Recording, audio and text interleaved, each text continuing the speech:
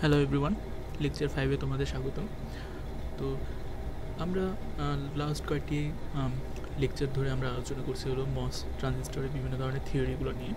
তো আজকে আমরা আলোচনা করব হলো মস ট্রানজিস্টরের বডি ইফেক্ট নিয়ে এবং থ্রেশোল্ড ভোল্টেজ নিয়ে। থ্রেশোল্ড ভোল্টেজ কী?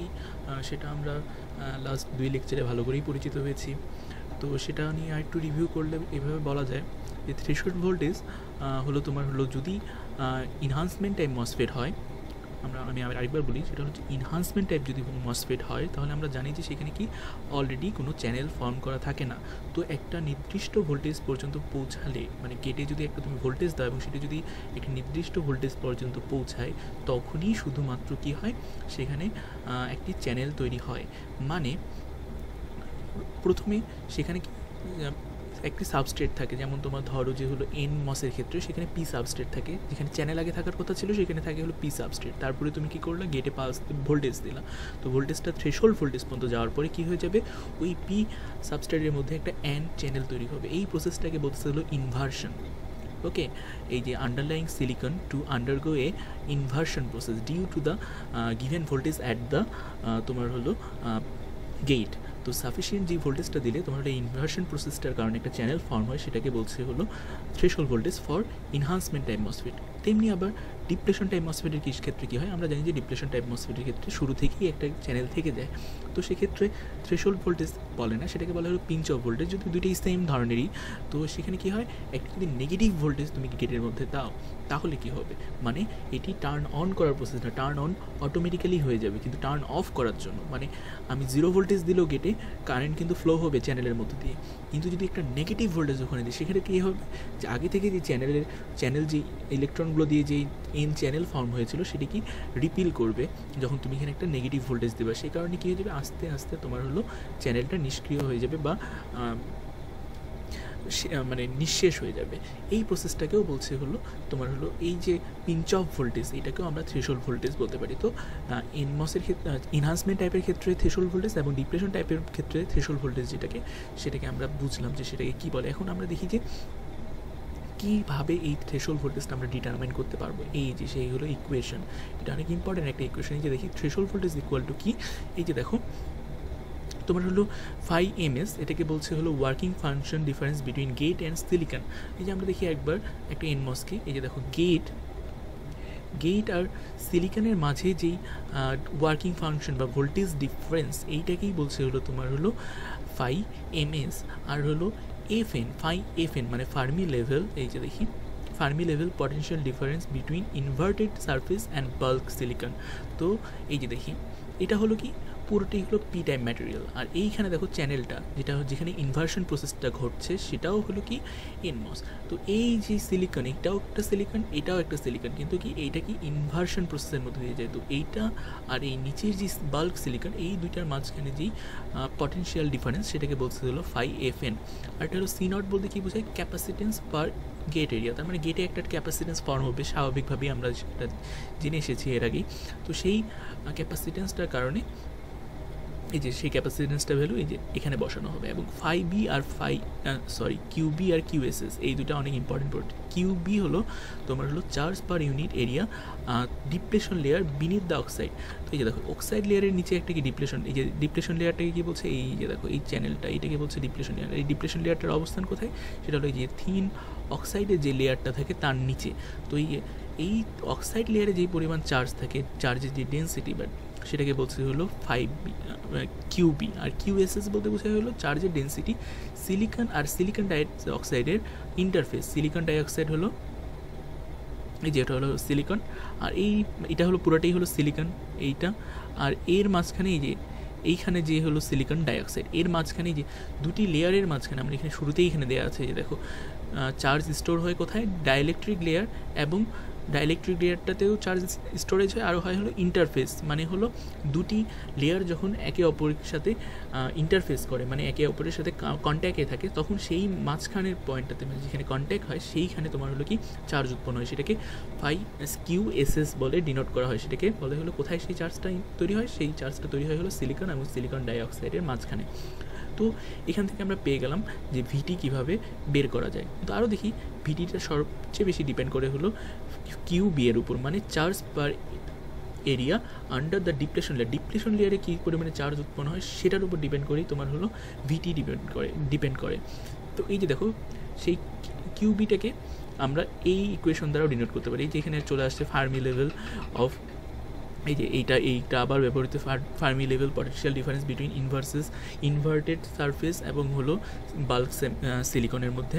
তারপর হলো এইখানে দেখো আরেকটি ইম্পর্টেন্ট টার্ম এখানে ব্যবহার করা হয়েছে, সেটা হলো ভিএসবি মানে voltage difference between source and হলো বডি এই যে দেখো, এটা হলো সোর্স আর এর এই যে দেখো, এটা হলো বডি তো বডি থেকে সোর্সের এর আগে আমরা কোনো কানেকশন দেখিনি। এখানে এটা দেখানো হচ্ছে শুধুমাত্র কি, তোমার হলো ভিটি নির্ণয়ের সময় কিউবি একটা ইম্পর্টেন্ট ইম্পর্টেন্ট ভ্যালু এবং সেটি ডিটারমাইন করা, সেটা ডিপেন্ডেন্ট কার উপর? ভিএসবি তার মানে হলো ভিএসবির মান যদি আমরা বাড়াই, তাহলে কি চার্জের পরিমাণ বাড়বে? আর চার্জের পরিমাণ যদি বাড়ে, তাহলে হলো থ্রেশোল ভোল্টেজটা বাড়বে। তার মানে কি আমরা থ্রেশোল ভোল্টেজটা কন্ট্রোল করতে পারি কি দিয়ে?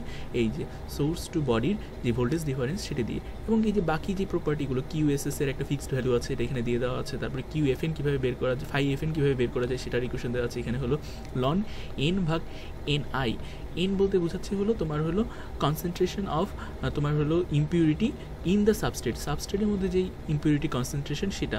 আর এন আই যেটা হলো ইন্ট্রিক্স ইন্ট্রেন্সিক ইলেকট্রন কনসেন্ট্রেশন তার মানে এখানে শুধুমাত্র ইলেকট্রনের যখন কনসেন্ট্রেশন বোঝাবে সেটাকে বলবে হলো এনআই দিয়ে।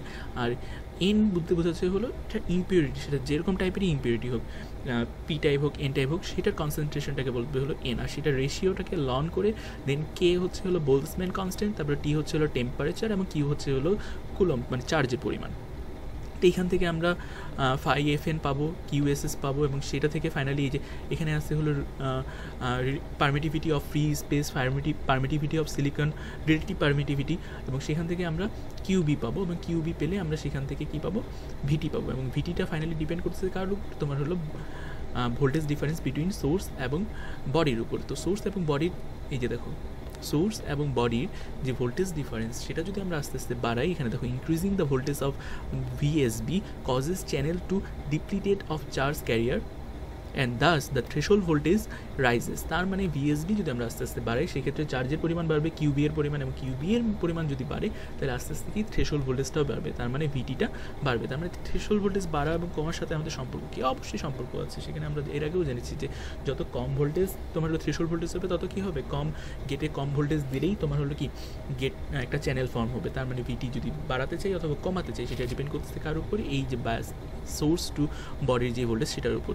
এই যে দেখো আরেকটা ইকুয়েশনের মধ্যে যে কতটুকু পরিবর্তন হলো ভিটি এটা ডিপেন্ড করে হলো ল্যামডা ভিএসবি তার মানে ভিএসবির স্কোয়ারের টার্মের সাথে তোমার হলো ভিটি ডিপেন্ড করে। সেক্ষেত্রে ল্যামডা হলো কনস্ট্যান্ট তার মানে আমরা বুঝা পাচ্ছি যে হলো বডি ইফেক্টটা কী বোঝাচ্ছে? বডি ইফেক্টটা বোঝাচ্ছে হলো এই যে বডি এবং সোর্সের মধ্যে যে ভোল্টেজ ডিফারেন্স সেটার কারণেই তোমার হলো এই যে ভিটি বা থ্রেশল ভোল্টেজ সেটার কতটুকু পরিবর্তন হয় সেটাকে। সেটাকে আমরা বলতেছিল বডি ইফেক্ট আরেকটি জিনিস আমরা দেখি লাস্ট দিন আমরা লাস্ট দিনে একটা টপিক ডিসক্রাইব করি, সেটা হলো আমরা কি জানি যে ড্রেইন টু সোর্সের দিকে ভোল্টেজ বাড়লে তোমার হলো আইডিএস মানে ড্রেইন টু সোর্স কারেন্টটাও বৃদ্ধি পায়। যখন ভিডিএসের পরিমাণ জিরো তখন তো জিরোই হয়। কিন্তু আরেকটা জিনিস শর্ত ছিল কি, একটা এনমোস স্টার্ট হওয়ার, সেটার ক্ষেত্রে কি একটা চ্যানেল ফর্ম করতে হবে। চ্যানেল ফর্মের জন্য কী করতে হবে? থ্রেশোল ভোল্টেজের উপরে থাকতে হবে। তো এটা হলো ডিপ্রেশন টাইপের যদি ইনহান্সমেন্ট টাইপ দেখি, এই যে, যখন তোমার হলো গেটের ভোল্টেজটা পয়েন্ট টু ভিডিডি মানে তোমার হলো থ্রেশোল ভোল্টেজের থেকে উপরে, তখনই শুধুমাত্র কারেন্ট পাওয়া যাচ্ছে এবং গেটের ভোল্টেজ যত বাড়াবা, তত বেশি পরিমাণে কারেন্ট পাওয়া যাবে। আর এখানে একটা দেখি, এই কার্ভটা থেকে যেটা বোঝা যায় যে হলো আস্তে আস্তে যখন ভিডিএসের মানটা ভিডিএসের মানটা যখন আস্তে আস্তে বাড়াবো, তখন তোমার কি হলো? কারেন্টের পরিমাণটাও আস্তে আস্তে বাড়তে শুরু করবে। তারপর এই পয়েন্টে আসে, দেখা যাবে যে এটা ফিক্সড হয়ে গেছে। এই পয়েন্ট পোর্শনটুকুকে এই পয়েন্টটুকুকেও বলতে পারো, এই পয়েন্টটুকুকে বলতে পারো। এই পয়েন্টগুলোকে বলবে হলো, এর পরেরগুলোকে বলতে হবে, বলবে হলো স্যাচুরেশন রিজিয়ন কারণ এরপরে যদি তুমি ভোল্টেজ বাড়াও, তারপরেও সেরকম কারেন্টের পরিবর্তন হবে না। আর এই সাইজের যে রিজিয়নটাকে সেটাকে বলছে রেজিস্টিভ রিজিয়ন অথবা নন স্যাচুরেশন রিজিয়ন ওকে তো এর আগের দিন আমরা স্যাচুরেশন রিজিয়নের কারেন্ট নন স্যাচুরেশন রিজিয়নের কারেন্ট এটা সম্পর্কে দেখে এসেছিলাম ইকুয়েশন দেখে এসেছি, কিন্তু সেটার গ্রাফটা দেখে হয়নি।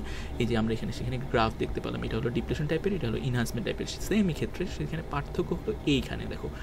গেট ভোল্টেজ এখানে গেট ভোল্টেজ নেগেটিভ ভ্যালু দিলেও কারেন্ট পাওয়া যাচ্ছে। তার মানে কি? এটা হলো পিঞ্চ অফ ভোল্টেজ এটা এটাকে বলছি ভিপি বা ভিটিও এটাকে বলতে পারো। তার মানে ঋণাত্মক দিকে সর্বনিম্ন যদি, সর্বোচ্চ যদি মাইনাস থ্রি ভোল্ট পর্যন্ত দাও, তারপরেও কারেন্ট পাওয়া যাবে। কারণ ওই যে চ্যানেলটা থাকবে চ্যানেল জিরো ভোল্টেজে তো অবশ্যই কারেন্ট চ্যানেল থাকবে ডিপ্রেশন টাইপে তার নিচেও থাকবে এবং এর নিচে যদি নামাই ফেলো ভোল্টেজটা তাহলে কিন্তু কী হয়ে যাবে? আর কোনো চ্যানেল থাকবে না, নিঃশেষ হয়ে যাবে। সেক্ষেত্রে আর কারেন্ট ফ্লো পাওয়া যাবে না। তো সেক্ষেত্রে এটাই হলো পার্থক্য ডিপ্রেশন মোড আর এনহান্সমেন্ট টাইপে দেখো জিরো পর্যন্ত যাবে না। জিরো জিরোতে থাকলে কোনো ধরনের চ্যানেলই থাকবে না। তো আস্তে আস্তে বাড়াতে বাড়াতে পয়েন্ট টু ভিডিডি বা মনে করো যে একটা সাপোজ একটা টু ভোল্ট অথবা থ্রি ভোল্ট পর্যন্ত পৌঁছানোর পর সেটা যদি থ্রেশোল ভোল্টেজ ওই রকম হয় থ্রেশোল ভোল্ট যদি তিন ভোল্ট হয়, তাহলে গেটে যখন তোমার তিন ভোল্ট পাওয়া যাবে, তখনই শুধুমাত্র কারেন্ট পাওয়া যাবে। আর গেটের ভোল্টেজ আস্তে আস্তে যত বাড়াতে শুরু করবে, তত তোমার হলো কারেন্টের পরিমাণ বেশি পাওয়া যাবে। তো এটাই ছিল আজকের লেকচার তো এর পরের লেকচারে আমরা আরও মোস্ট থিওরি নিয়ে খুব একটা আলোচনা করব না। আমরা এরপরে ভিএলএসআই ডিজাইন নিয়ে আলোচনা শুরু করব। তো আজকে এই পর্যন্তই।